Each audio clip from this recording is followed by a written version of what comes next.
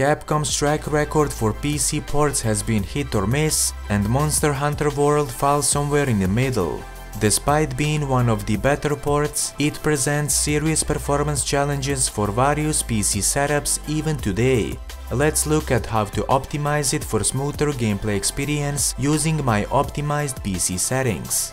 And now, let's optimize the game for a smoother gameplay experience and boost the overall performance using my optimized PC settings.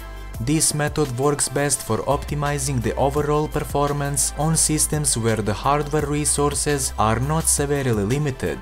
Otherwise, I recommend checking out my other guide video focusing on reaching the maximum possible performance as it is more suitable for squeezing out every bit of performance that's left. If optimizing overall performance is indeed what you are looking for, let's begin. In this video, I will use an optimization tool called Low Specs Experience. Low Specs Experience is a PC video game optimization solution I developed uh, that allows you to optimize your favorite games based on your preferences and needs. Before we begin the optimization process, download and install uh, Low Specs Experience using the link in the video description. So first things first, start the installation process for the Low Specs Experience. Once the installation is complete, start it using the newly created desktop shortcut. Now go to the optimization catalog, select the applicable digital platform and select your game from this drop-down menu.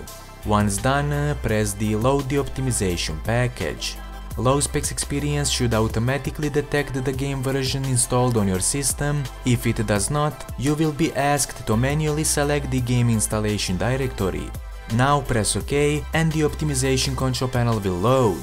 Once the optimization control panel has loaded, select the desired optimization presets and the in-game resolution.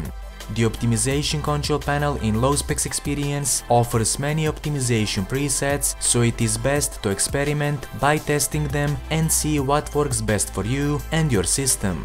And now, to apply the optimization, press the execute optimization button and then uh, start your game. Also, if you are unsatisfied with the optimization applied by low specs experience, you can easily remove the optimization effects using the revert changes option. That will do it for this video. If this video was helpful, be sure to like and subscribe. Until next time, happy gaming!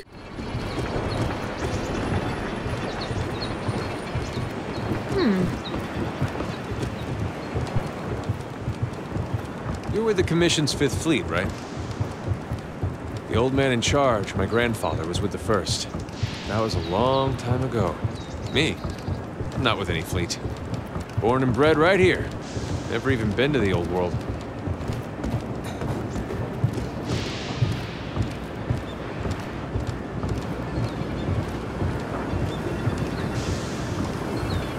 Here.